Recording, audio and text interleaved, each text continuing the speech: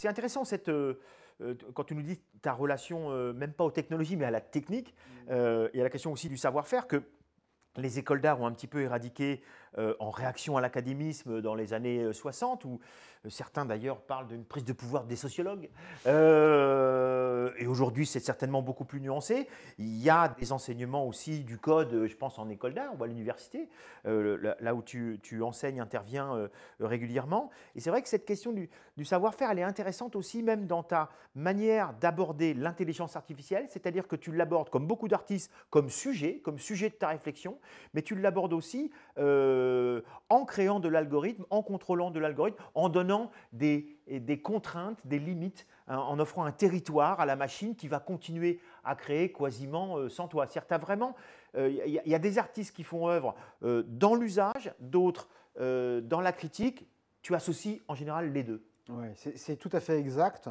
je pense qu'il y a une branche en art assez prégnante en France, qui est majoritaire, dans les gens qui faisaient de l'art numérique et qui, ont, qui maintenant développent plus un art critique des GAFA, on va dire qui est un rapport uniquement critique à la domination, en traitant euh, des biais et finalement en appliquant artistiquement euh, des études sociologiques, dont euh, Casselli, etc.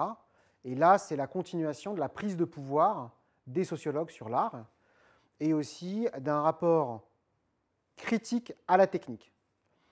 Moi, j'ai ce rapport bien sûr critique. Il faut tout de même, bon, c'est assez évident qu'il y a de la domination. Mais je pense que cette critique de la domination n'a aucun intérêt si, en art, si elle n'investit pas en même temps une autre, un autre possible.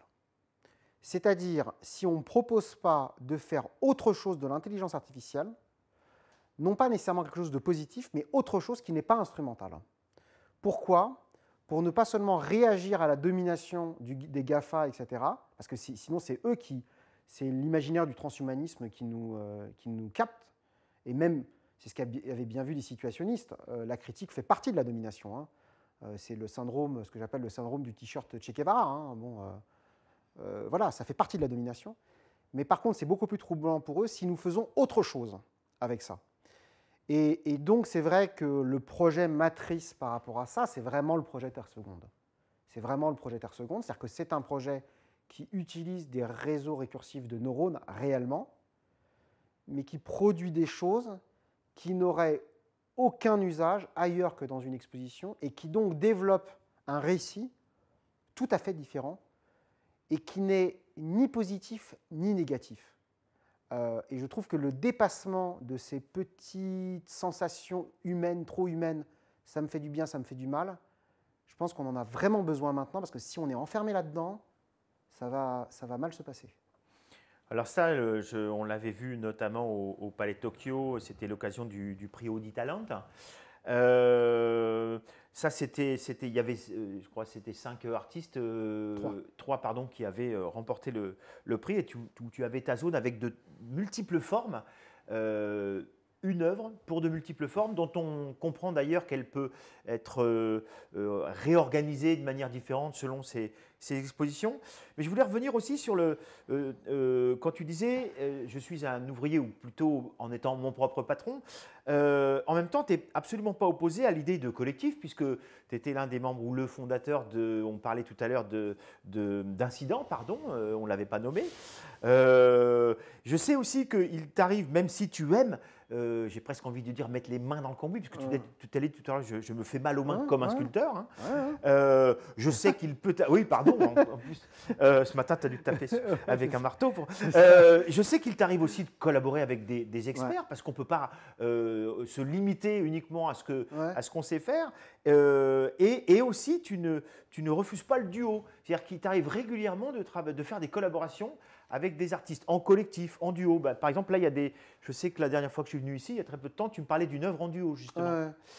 alors moi, c'est vraiment une dimension de mon travail euh, qui, est liée, euh, qui est liée à plein de choses que je vais peut-être essayer d'expliquer, mais c'est euh, le travail collectif, collectif, ou le travail de collaboration.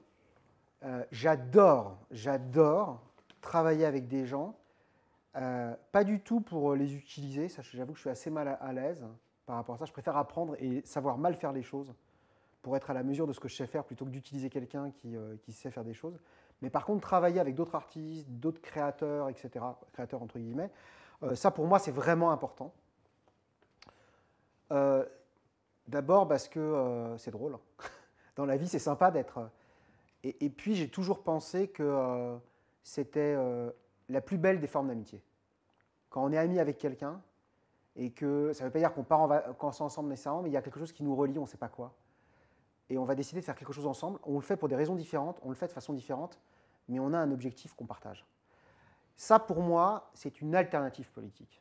Je voudrais que ce soit comme ça au niveau de la société. Et alors d'où ça vient? Ça vient de plein de choses, mais ça vient entre autres de mon adolescence.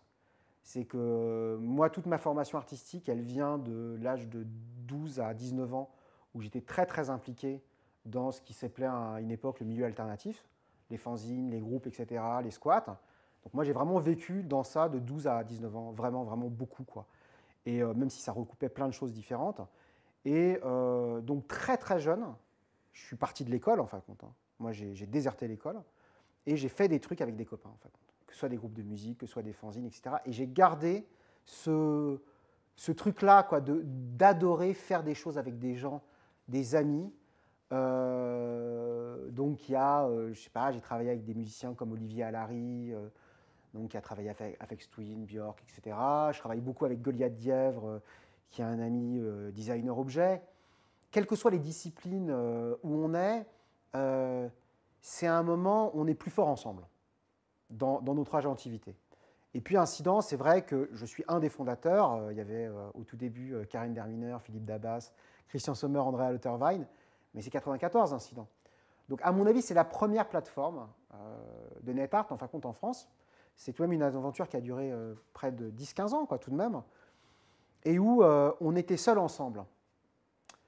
Et c'est un peu comme ici aussi, on est un peu seuls ensemble. Et ça, j'aime bien, parce que chacun respecte sa singularité. par exemple, j'ai travaillé avec d'autres artistes comme Rénal Drouin, qui était aussi un membre d'incident. On a, fait ensemble un, système de réalité virtuelle, c'était en 2000.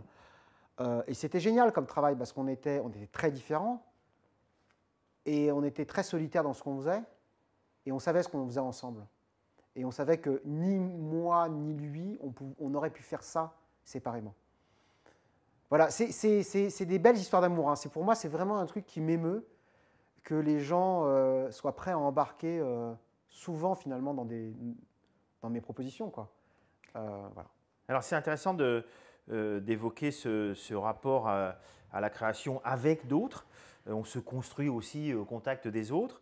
À mon tour de, citer Bourriot et de convoquer euh, sa pensée radiquant sur le fait que les artistes se construisent aussi de leur déplacement dans l'espace, mm.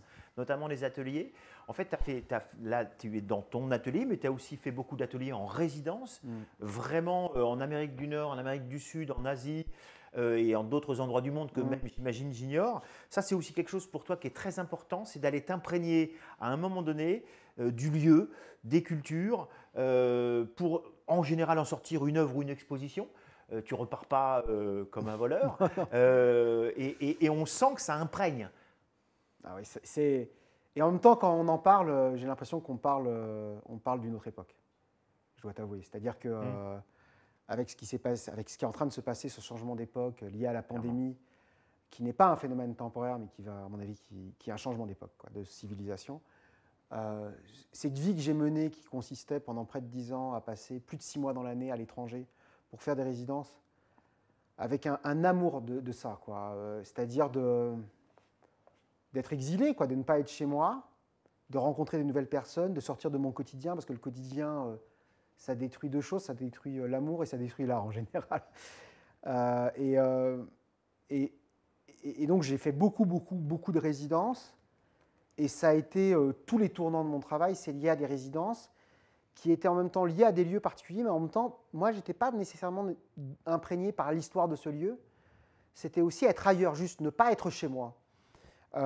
et d'être un peu comme ça déterritorialisé, et puis de n'avoir plus que ça à faire. Et de ne plus avoir de papier administratif à remplir, de ne plus avoir toute cette espèce de bruit de non-vie, de littérature grise, de dossiers, tout ça, et de n'avoir que rien à faire, c'est-à-dire tout. Et, c'était vraiment une ouverture des possibles.